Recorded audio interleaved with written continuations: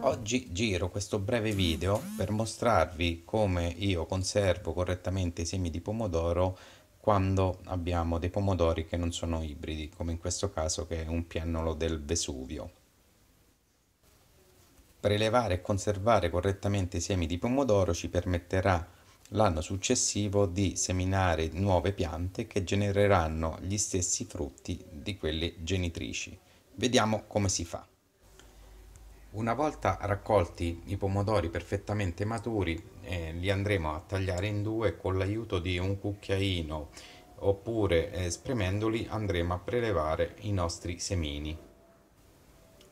Preleviamo con pazienza tutti i semi che ci interessano, chiaramente i pomodori potremo andarceli a mangiare. Terminata questa operazione poniamo i nostri semini all'interno di un passino in modo che poi li passiamo sotto il getto dell'acqua cercando di eliminare il più possibile eh, la parte di pomodoro e polpa attaccata ai semini ora mettiamo i nostri semini all'interno di un barattolino di vetro ed aggiungiamo dell'acqua una volta aggiunta l'acqua al barattolino lasciamo macerare per 7-10 giorni eh, mettendo sul barattolino un tovagliolino in modo che con questa macerazione il semino si priverà di tutte quante le particelle di pomodoro che sono attaccate. Eccoci qua, è passata circa una settimana.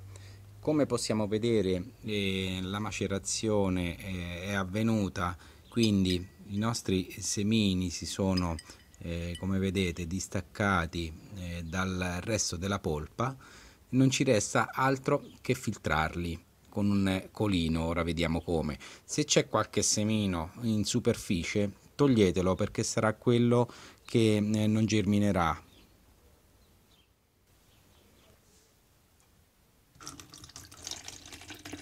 passiamo i nostri semini all'interno di un colino.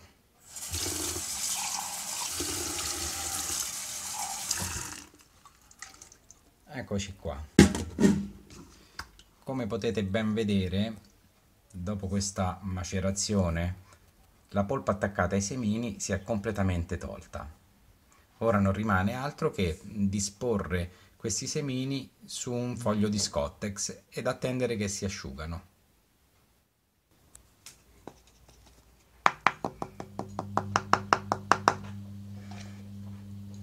Eccoci qua. Allarghiamo i nostri semini su questo tovagliolino. Li mettiamo in un posto arieggiato ma non direttamente al sole.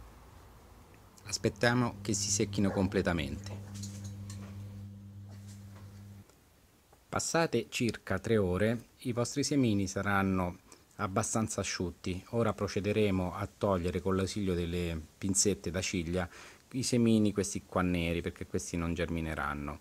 E come vedete con la macerazione di 7-10 giorni i vostri semini non hanno quella cuticola che li appiccica tra di loro, sono tutti abbastanza sciolti. Procediamo con l'eliminazione dei semini questi scuri e poi metteremo i nostri semini in un barattolino di vetro e li riporremo al sole per farli finire di seccare. È terminata l'operazione di separazione dei semini scuri da quelli chiari, ora li riponiamo nel barattolino. Esponiamo il barattolino con i nostri semini per almeno altre 3 ore al sole diretto o comunque finché non saranno completamente eh, secchi e quindi privi di umidità. Sono passate circa 4 ore, i nostri semini sono ben secchi, si sentono che scuotendo il barattolo tintinnano tra di loro e comunque mettendoli sotto i denti scrocchiano. Ora io li ripongo in un tovagliolino o un pezzetto di carta eh, diciamo igienica, li avvolgo ben bene e li chiudo con, eh, con del nastro isolante. In questo modo l'eventuale piccola traccia di umidità che c'è e andrà nel, nella carta e poi li ripongo una volta ben sigillati all'interno del barattolino inserisco il tappo ermetico e catalogo quindi metto un'etichetta con il nome eh, della pianta genitrice e la data eh, in cui ho prodotto i semini così si mantengono eh, tranquillamente per circa due anni. Grazie, arrivederci ed al prossimo tutorial.